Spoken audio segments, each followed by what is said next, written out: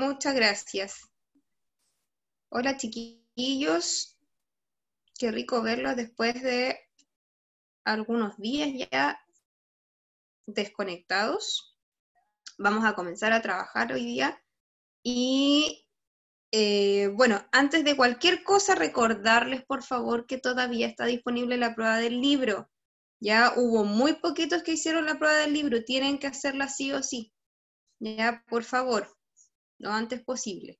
Eh, tía Erika, como usted le escucho, no sé si me quedo pegada yo o será el internet de los chiquillos o yo que los veo mal algunos.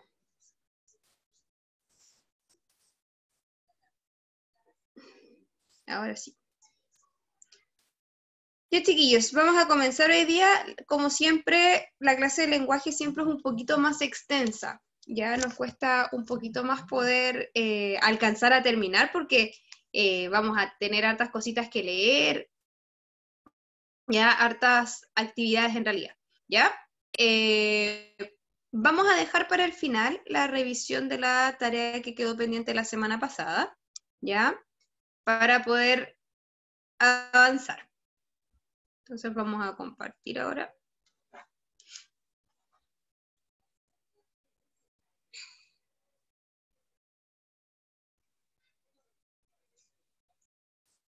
Ya niños, Hoy día vamos a ver personajes y comentarios. Nuevamente vamos a trabajar con textos narrativos, pero esta vez nos vamos a enfocar un poquito a los personajes y los comentarios que nosotros podamos eh, realizar sobre estos mismos. ¿ya? Entonces, martes 29 de septiembre, última clase del mes de, de septiembre ya de lenguaje, y como objetivo, revisar el texto pendiente de la mona que quedó en la clase anterior. Ya eso lo vamos a ver al final si es que alcanzamos y vamos a leer y comprender distintos textos narrativos, identificando y comentando las características de sus personajes. ¿Ya? El objetivo de cada texto en específico, por supuesto, y de cada actividad se va a presentar previo a la lectura de este. Ya lo mismo que hicimos la semana pasada, vamos a hacerlo nuevamente hoy día. ¿Ya? Este es el texto que quedó pendiente, lo vamos a revisar después. Y ahora vamos al texto número uno. ¿ya? Este primer texto se llama El jardinero y su amo. El objetivo eh, de esta lectura y de, esta, de la actividad que vamos a hacer aquí es reconocer las características del personaje de El jardinero y su amo a partir de fragmentos de esta fábula y con ello reflexionar sobre sí mismos para comprenderse y valorarse. Entonces, antes de que nosotros eh, vayamos a leer, vamos a responder algunas preguntas. Ya, a ver aquí si, eh, si es que los puedo ver. ¿Conocen ustedes algún jardinero? ¿Saben lo que hace un jardinero? ¿A qué se dedican? A ver, Lucas. A ver, Lucas. Actívese su audio. Hola, Lucas riegan las plantas y le dan comida a los animales del área que están acostumbrados. Ya, muy bien. Riegan las plantitas y le dan comida a los animalitos de los alrededores que estén acostumbrados. Matilda, ¿qué más puede hacer un jardinero? A ver ahí que te estoy mirando. Plantar árboles, eh, plantas, regarlas. Ya, además de regar Además de hacer eso, ellos pueden cultivar. Muy bien, también pueden cultivar. Excelente, Matilda, muy bien. Bien, bien, bien. Eh, ¿Cómo creen que es la personalidad? ¿Cómo debe ser un jardinero? ¿Cómo será un jardinero? ¿Serán simpáticos, entretenidos? ¿Serán un poco enojones? ¿Cómo serán los jardineros? A ver, Amparo.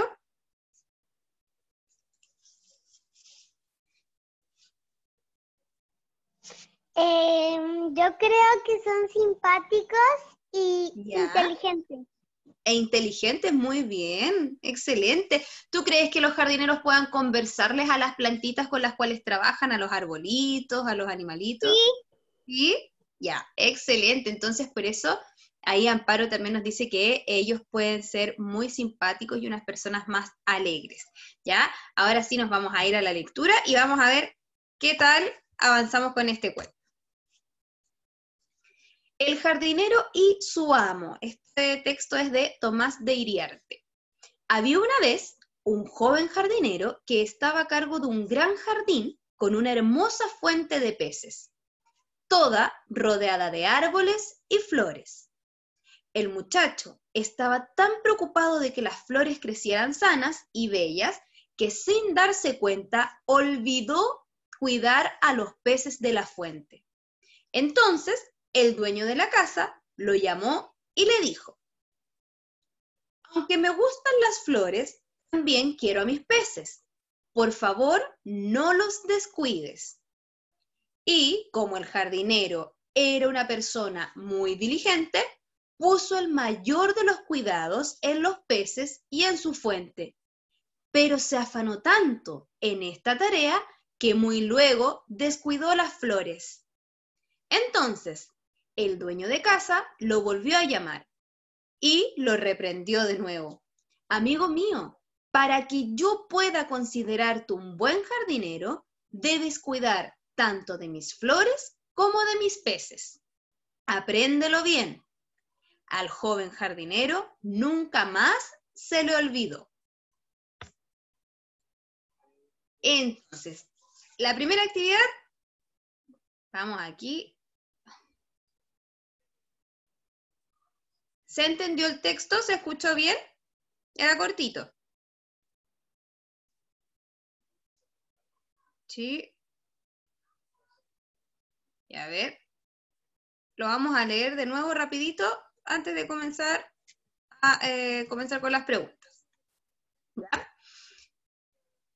Ya, el texto entonces se llama El jardinero y su amo. una vez más, había una vez un joven jardinero que estaba a cargo de un gran jardín con una hermosa fuente de peces, toda rodeada de árboles y flores. El muchacho estaba tan preocupado de que las flores crecieran sanas y bellas que sin darse cuenta se olvidó de cuidar de los peces de la fuente. Entonces el dueño de casa lo llamó y le dijo, aunque me gustan las flores, también quiero a mis peces. Por favor no los descuides. Y como el jardinero era una persona muy diligente, puso el mayor de los cuidados en los peces y en su fuente pero se afanó tanto en esta tarea que muy luego descuidó las flores. Entonces, el dueño de casa lo volvió a llamar y lo reprendió de nuevo. Amigo mío, para que yo pueda considerarte un buen jardinero, debes cuidar tanto de mis flores como de mis peces. Apréndelo bien. Y al joven jardinero nunca más se lo olvidó. Ahora sí, tiquillos, ¿Cómo se llama entonces la lectura que acabamos de leer?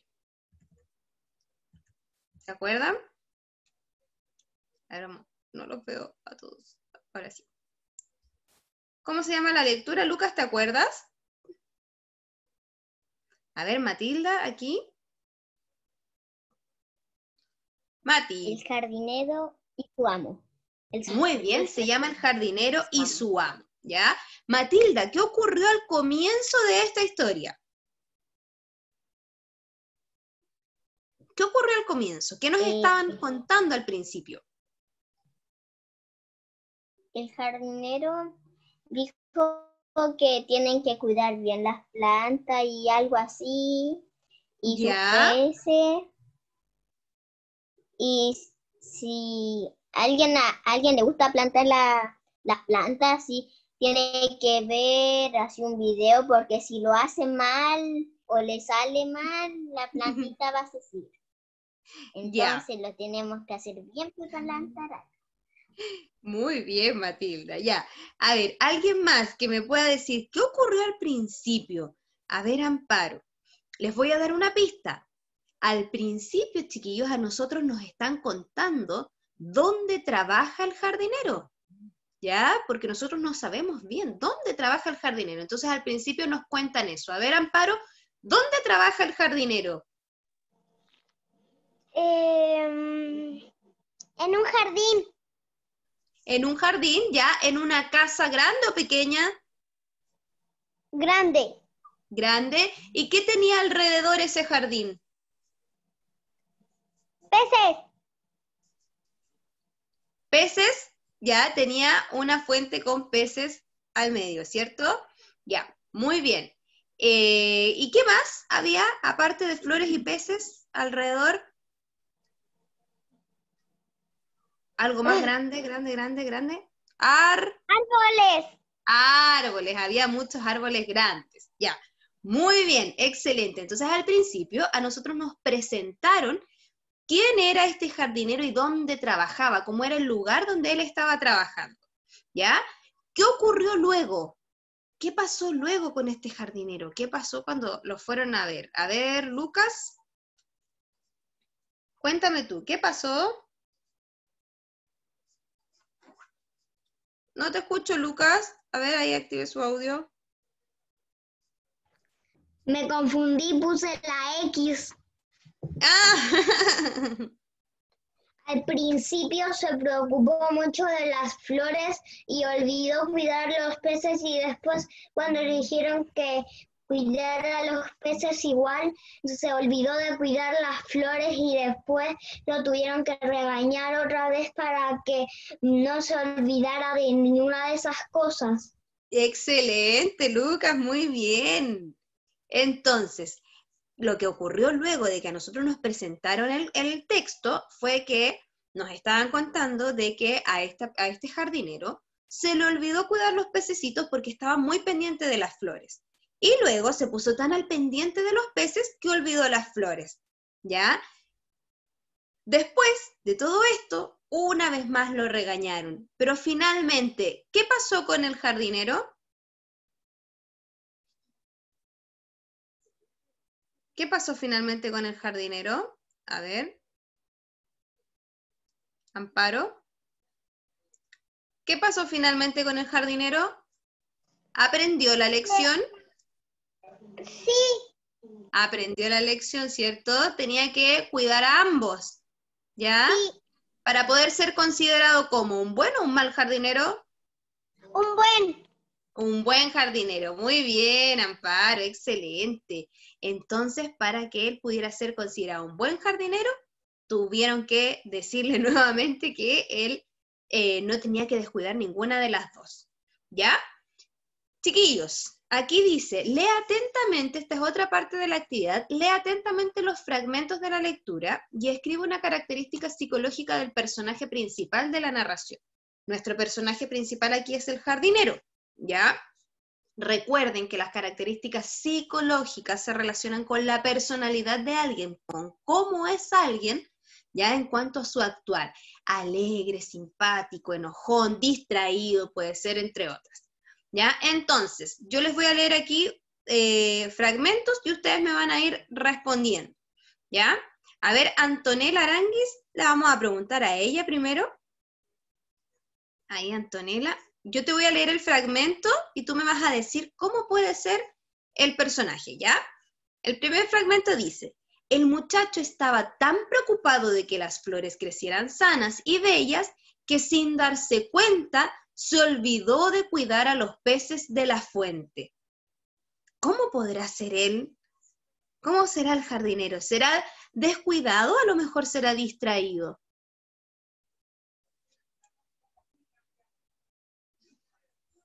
Ay, no la escucho. Ahora sí. Es de descuidadoso porque como se olvidó de los peces, igual es muy olvidadizo igual. Es olvidadizo también, ¿cierto? Es olvidadizo porque a él le, pu- le- le- le daban una tarea y se le olvidaba la otra. ¿Ya? Entonces ahí dentro de sus características, cuando ustedes completen, le pueden poner olvidadizo, distraído, descuidado. ¿Ya? Ahora, el segundo fragmento, Antonella, dice, y como el jardinero era una persona muy diligente, puso el mayor de los, de los, perdón, puso el mayor de los cuidados en los peces y en su fuente. Él se preocupó mucho también de los pececitos. ¿Cómo sería ahí él? ¿Habrá sido muy preocupado? Preocupado. Era muy preocupado, ahí estaba muy preocupado de los peces para que pudieran estar bien. ¿Ya? Muy bien, Antonella, excelente. Matilda, ¿tú me vas a ayudar con las otras dos? Aprovechando que tienes la manito ahí. Yo te voy a ayudar, ¿ya? Ya, Mati. Vamos a trabajar aquí juntitos. Además de eso, le quería preguntar otra cosa. ¿Eso es tarea, cierto? Sí, acuérdate que todas las cositas que aparecen en el Power que vamos trabajando son tareas, sí. Sí, sí, sí. ¿La manda? Matilda, escúchame. Mira, aquí dice en este fragmento, pero se afanó tanto en esta tarea que muy luego descuidó las flores. ¿Ya? Afanarse algo es que es como ser muy fanático para, para hacer una cosa. Entonces ahí nosotros, ¿qué podríamos decir de él? ¿Cómo era?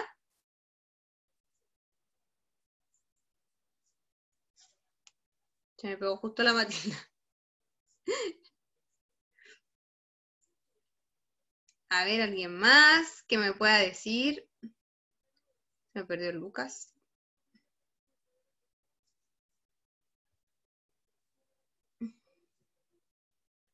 A ver, Gustavo. Muy bien, a ver, Gustavo, si me puedes ayudar tú. Ya, Gustavo, dígame. el jardinero era empeñoso. Muy bien, era muy empeñoso, excelente, súper bien. Oye, Gustavo, y en el último, aprovechemos al tiro. Dice, amigo mío, para que yo pueda considerarte un buen jardinero, debes cuidar tanto de mis flores como de mis peces. Apréndelo bien. Y al joven jardinero nunca más se lo olvidó. ¿Ya? ¿Qué, ¿Qué podemos decir respecto a él, en su personalidad? Si a él no se lo olvidó y tomó el consejo que le dieron.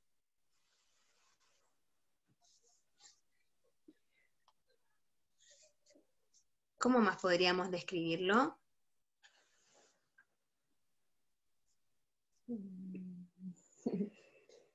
¿Qué más podríamos decir? ¿Él estaba preocupado? Sí. Sí, ya, muy bien. A ver, Amparo. A ver, Amparo, como él aprendió, él quiso aprender, eso es importante. A ver, Amparo, ¿qué podemos decir?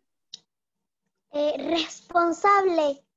Muy bien, también que él se hizo responsable porque él al final también aprendió de que quizás se estaba equivocando y para ser un buen jardinero puede ser responsable. Y ahí nuevamente podemos tomar lo que dijo Gustavo, que él era empeñoso porque quería hacer siempre las cosas bien.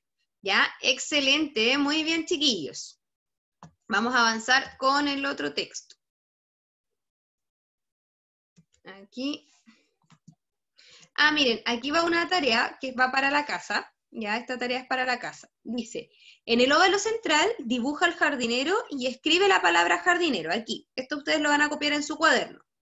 En los rectángulos van a notar las características psicológicas deducidas. Si lo encontraron empeñoso, amable, forzado, responsable, trabajador, como ustedes quieran. ¿Ya? Y después van a explicar por qué. ¿ya? Porque ustedes lo consideran así, ¿ya? Así que eso lo van a hacer en la casita, sí, chiquillos, porque es algo que demora un poquito más de tiempo, ¿ya? Requiere más tiempo en realidad. El texto número dos es un poquito más largo, así que eh, de por sí eh, deduzco que en realidad el tercer texto a lo mejor no lo vamos a alcanzar a trabajar, pero también va a quedar de tarea, ¿ya? Es importante que ustedes refuercen la lectura, así que el texto número 3 lo vamos a trabajar en la casa. Pero ahora vamos a ver este segundo texto que dice, un elefante ocupa mucho espacio. El objetivo de esta lectura y de esta actividad es representar las características psicológicas de los personajes de eh, un elefante ocupa mucho espacio a través de dibujos que van a hacer ustedes y que van a observar y palabras. Con ello vamos a reflexionar también sobre el respeto y empatía por las diferencias entre las personas. ¿Ya? Antes de la lectura vamos a responder. ¿Qué pasaría, chiquillos, si a ustedes los encerraran en algún lugar? ¿Cómo se sentirían si alguien los mantuviera encerrados? A ver, a ver, Vicente. A ver, Vicente, ¿cómo te sentirías tú si te encerraran? Mm.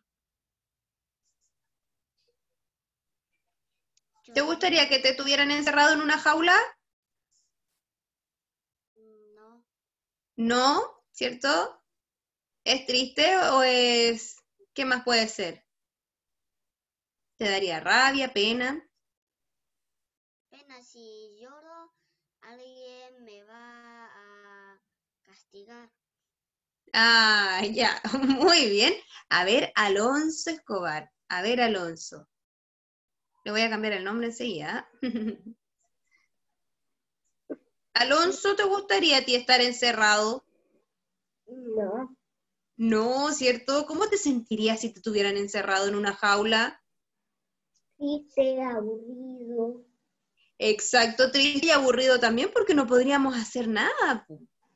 Si a veces ya nos aburrimos en la casa ahí por el tema de la cuarentena, imagínense si estuviéramos en una jaula.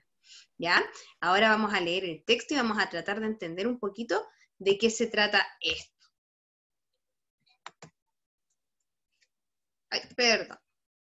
Dice, un elefante ocupa mucho espacio, de Elsa Bornemann. ¿Ya? Que un elefante ocupa mucho espacio, lo sabemos todos. Pero que Víctor, un elefante de circo, se decidió una vez a pensar en elefante, esto es, a tener una idea tan enorme como su cuerpo. Ah, eso algunos no lo saben, por eso se los cuento. Verano. Los domadores dormían en sus carromatos alineados a un costado de la gran carpa. Los animales velaban desconcertados. No era para menos. Cinco minutos antes, el loro había volado de jaula en jaula comunicándoles la inquietante noticia. El elefante había declarado huelga general y proponía que ninguno actuara en la función del día siguiente. ¿Te has vuelto loco, Víctor? le preguntó el león, asomando el hocico por entre los barrotes de su jaula. ¿Cómo te atreves a ordenar algo semejante sin haberme consultado? El rey de los animales soy yo. La risita del elefante se desparramó como el papel picado en la oscuridad de la noche. ¡Ja! El rey de los animales es el hombre, compañero, y sobre todo aquí, tan lejos de nuestras selvas. ¿De qué te quejas, Víctor? interrumpió un osito gritando desde su encierro. ¿No son acaso los hombres los que nos dan techo y comida? Tú has nacido bajo la lona del circo, le contestó Víctor dulcemente. La esposa del criador te crió con mamadera. Solamente conoces el país de los hombres y no puedes entender aún la alegría de la libertad.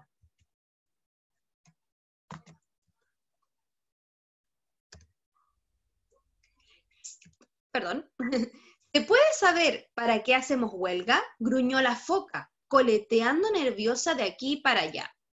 Al fin, una buena pregunta, exclamó Víctor, entusiasmado, y ahí nomás les explicó a sus compañeros que ellos eran presos, que trabajaban para que el dueño del circo se llenara los bolsillos de dinero, que eran obligados a ejecutar ridículas pruebas para divertir a la gente, que se los forzaba a imitar a los hombres, que no debían soportar más humillaciones, y que patatín y que patatán y que patatín fue el consejo de hacer entender a los hombres que los animales querían volver a ser libres y que patatán fue la orden de huelga general. Bah, pamplinas, se burló el león. ¿Cómo piensas comunicarte con los hombres? ¿Acaso alguno de nosotros habla su idioma? Sí, aseguró Víctor. El loro será nuestro intérprete. Y enroscando la trompa en los barrotes de su jaula, los dobló sin dificultad y salió afuera. Enseguida abrió una tras otra las jaulas de sus compañeros. Al rato, todos retozaban en los eh, carromatos, hasta el león.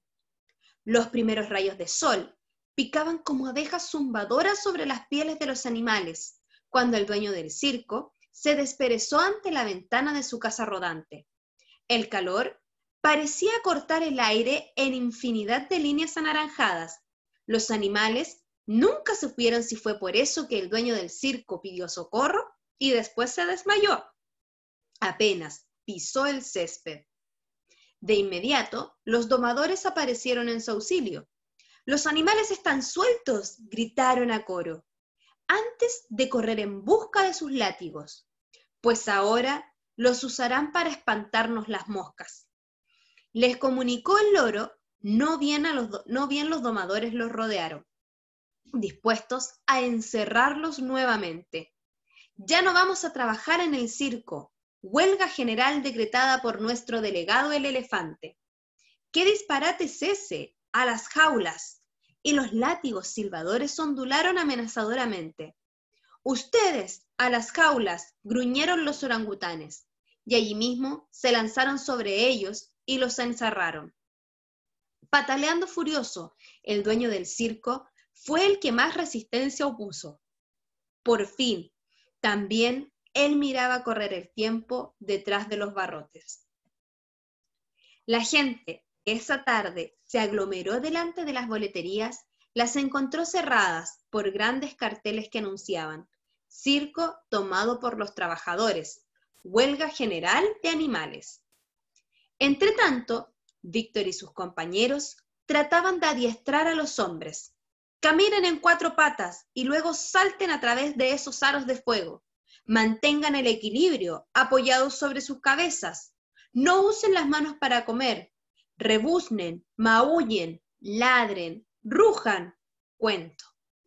Basta, por favor, basta, gimió el dueño del circo al concluir su vuelta número 200 alrededor de la carpa, caminando sobre las manos. Nos damos por vencidos. ¿Qué quieren? El loro carraspeó, tosió Tomó unos sorbitos de agua y pronunció entonces el discurso que le había enseñado el elefante.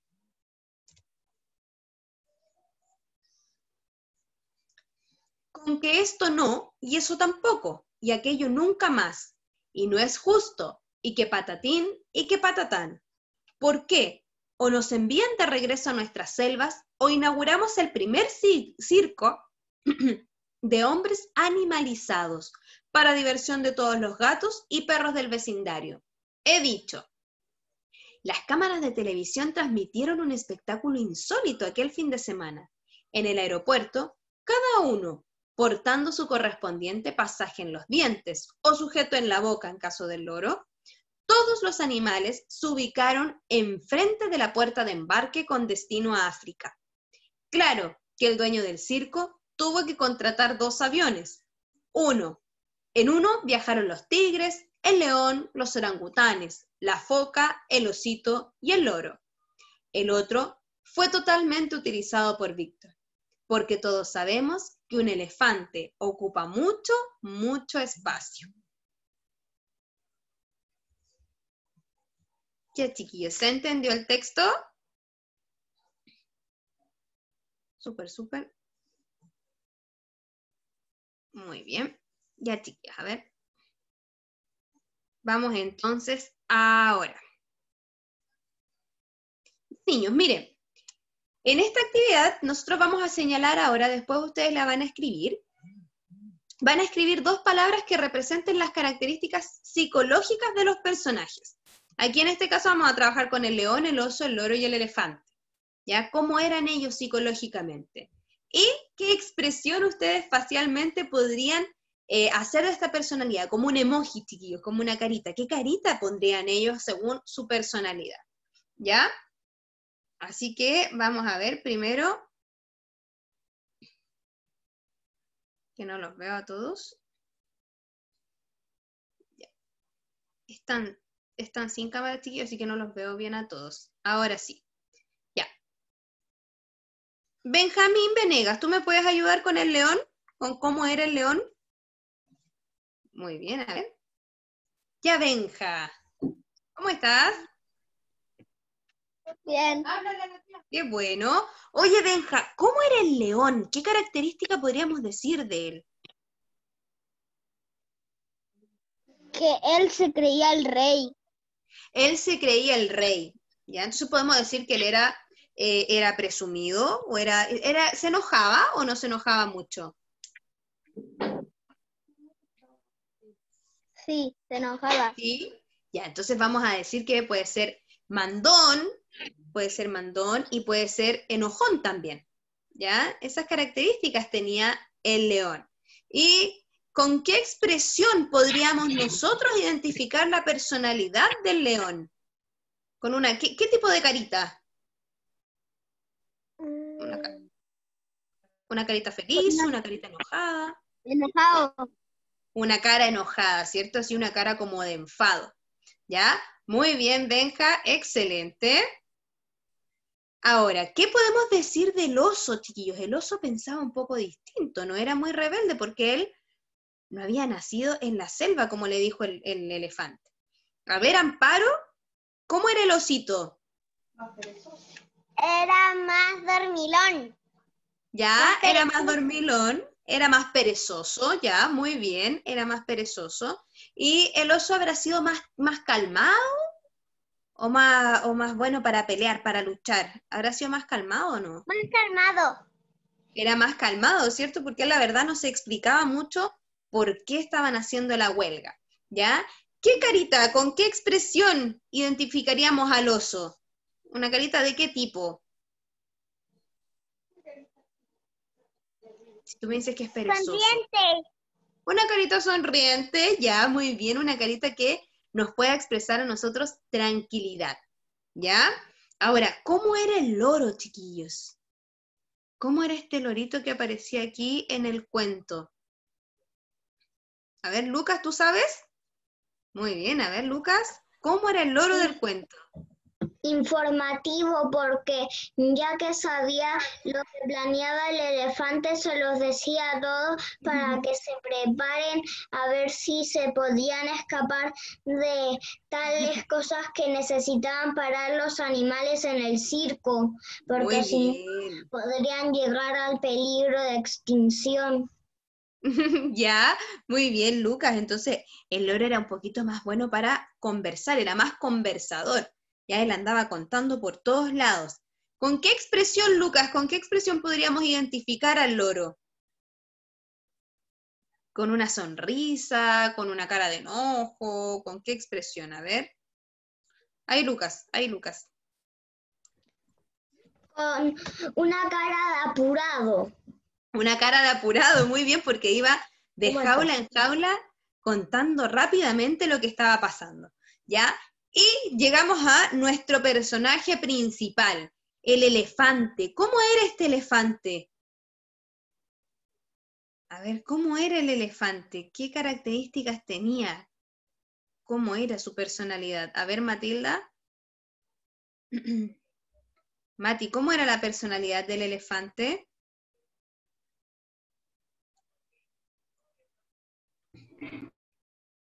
Ay, perdón Matilda de nuevo.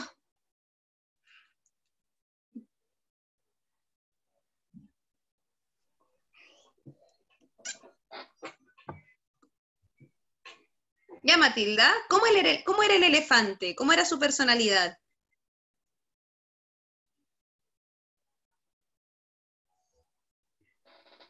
El elefante era feliz y era, bueno. Era bueno, sí, él era bueno. Pero era grande. Era grande, ¿ya? Pero esa es una característica física. Sí. ¿Ya? Acuérdense que ser grande o ser de algún color en especial, ¿ya? Que tenga ciertas características, que sus orejas, la trompa, lo que sea, todas esas son características físicas.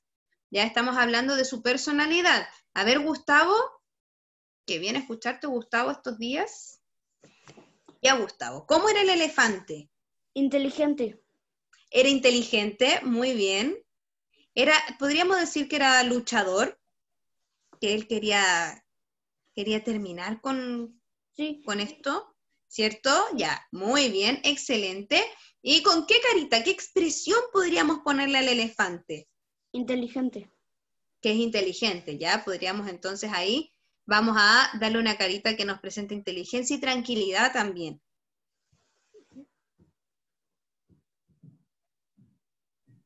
me silencié, perdón, la verdad es que él no hacía nada malo, él estaba luchando por su libertad porque querían volver a la selva de donde ellos venían, ¿ya? Y no estar más encerrados, haciendo que, eh, las, perdón, haciendo las cosas que los hombres les pedían, ¿ya? Así que muy bien, chiquillos, miren, estamos en la hora. Hay un texto que aparece acá que se llama La niña y su farol, que es el texto número 3, ¿ya? Pero ese lo van a hacer en la casita o lo vamos a revisar la otra semana junto con el texto La mona, ¿ya? Hoy día, chiquillos, yo creo que trabajaron muy bien. Siempre tienen que ir identificando qué es lo que están sintiendo, qué están pensando, qué estoy viendo en esta actividad, qué preguntas tengo, de qué me doy cuenta. ¿Ya? Ustedes generalmente hay algunos que se dan más cuenta de algunas cosas que otros, que están un poquito más distraídos o que tienen diversas preguntas. ¿Ya? Hoy día, chiquillos, trabajamos con dos textos súper importantes, que fue el del jardinero y su amo, ¿ya? Donde vimos ahí eh, que hay personas que pueden ser un poquito olvidadizas, pero que eh, cuando van aprendiendo de a poco, después ya no se les olvida más. Ya a veces a nosotros se nos olvidan algunas cosas, pero mientras más ponemos en práctica, más nos vamos acordando y no nos olvidamos. Y llegamos finalmente al cuento de El elefante, donde nos pudimos dar cuenta de que eh, no nos gusta estar encerrados. Nuevamente hablamos de los animalitos, algo que vemos mucho en ciencias naturales, eh, y la importancia que tiene el no dejarlos ahí encerrados a ellos o trabajando en un circo, ¿ya? Para que otros disfruten y ellos estén ahí presos haciendo otras cosas. Ya, chiquillos, así que hemos comprendido diversos textos narrativos e identificamos las, características de los personajes, expresamos nuestras opiniones también sobre sus actitudes. ¿Ya? Eh, niños, estamos en la hora. A ver, Matilda, rapidito. Y las tareas que, vamos a hacer, ¿las va a mandar?